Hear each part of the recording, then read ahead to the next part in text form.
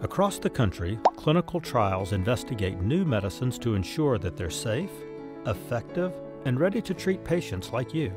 Clinical trials are an important step in the development of breakthrough treatments. But there's a problem not enough people participate.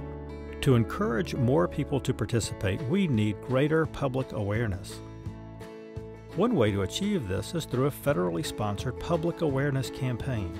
The U.S. government has used these since the 1930s to encourage public health causes like the importance of the polio vaccine, cancer screening, heart health, and the signs of stroke.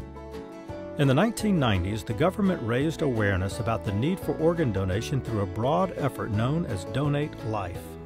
At that time, only 28% of Americans were registered organ donors. The results? Today, nearly half of Americans are registered as organ donors.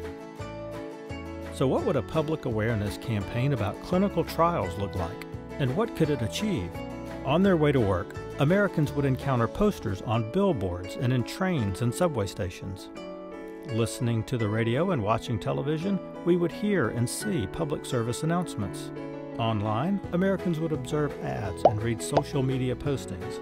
Over time, this outreach will make clinical trials a matter of public knowledge, and participation an opportunity for civic service.